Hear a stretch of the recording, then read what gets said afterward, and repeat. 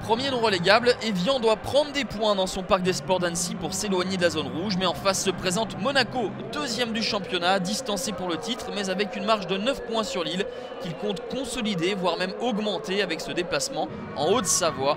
Monaco en demi-finale de Coupe de France affrontera Guingamp et veut surfer sur sa bonne forme actuelle mais ce sont euh, les Evianais qui se procurent une première situation au terme d'une première période euh, riche en erreurs techniques plutôt que riche en, en occasions.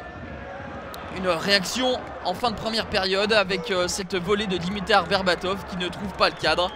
Il est de mieux en mieux Dimitar Berbatov en pointe de cette attaque monégasque. On le retrouve une nouvelle fois l'attaquant bulgare mais il perd son duel face au gardien danois. J'espère en scène l'inquiétude de Pascal Duprat car ces hommes n'ont pas été énormément menacés au terme de ces 45 premières minutes. Mais en deuxième période, l'entrée de Valère Germain va quelque peu modifier les plans.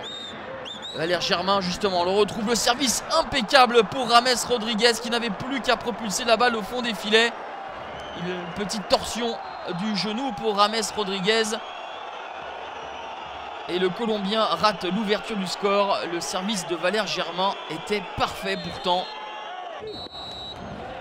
Et du coup, Evian a laissé passer l'orage et peut réagir sur coup de pied arrêté, notamment Thierry Parvas et Cédric Cambon s'étaient débarrassés du marquage un petit peu laxe monégasque pour toucher cette balle du bout du pied, mais ce n'est pas cadré.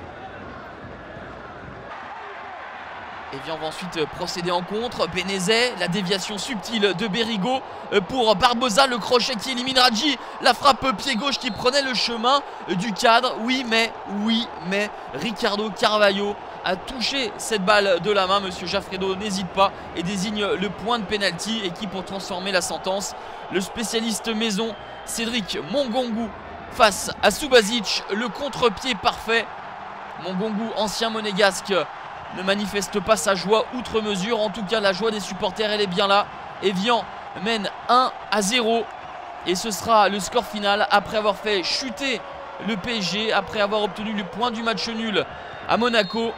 Cette fois-ci, les hommes du Rocher s'inclinent face à Evian qui se donne énormément d'air en vue du maintien.